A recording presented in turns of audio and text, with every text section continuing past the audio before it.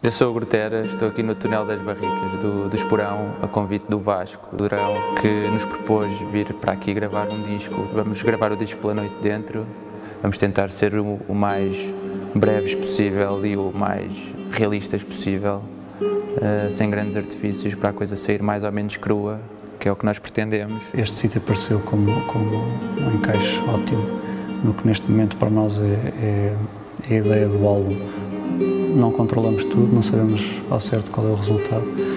Vamos deixar o sítio falar um pouco por nós também. O porquê do Alentejo? Porque por ser um sítio tipicamente português, eh, assim como na minha perspectiva a guitarra, e já há uma certa Portugalidade eh, na música tocada com guitarra a solo, felizmente, e penso que isso joga muito bem com, com o Alentejo, com, com o produto que é o vinho, e com toda a gastronomia da zona, para além de termos aqui condições acústicas que seria difícil de ter fora de uma adega.